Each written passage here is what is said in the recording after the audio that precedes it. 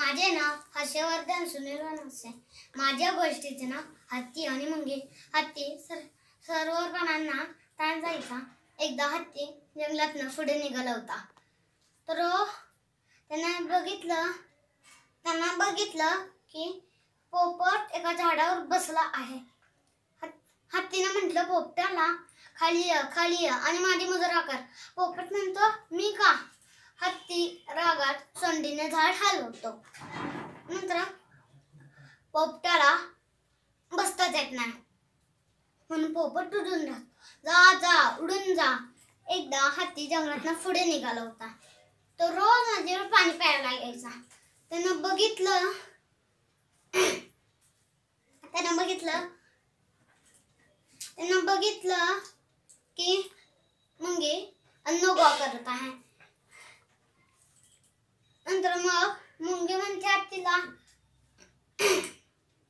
नंतर मग मुंगी म्हणते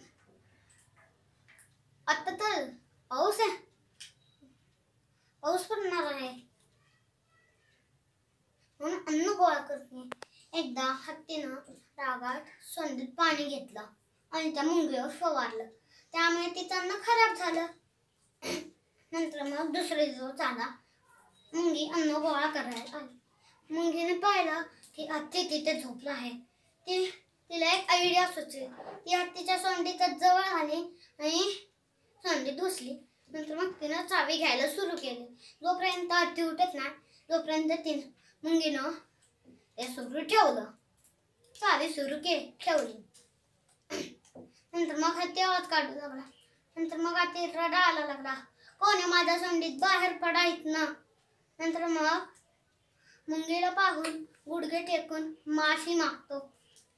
नंतर मग हत्ती मुंगीला म्हणतो कुणालाही त्रास देणार नाही.